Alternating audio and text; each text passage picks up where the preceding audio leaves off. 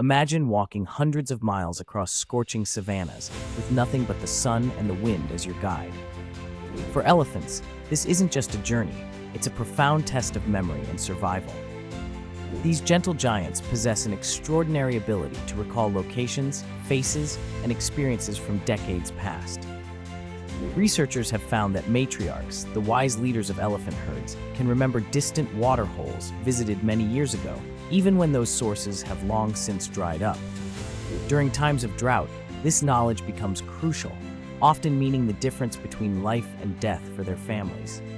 Elephants also recognize individuals, both elephant and human, after long separations, demonstrating not only recollection but deep emotional intelligence.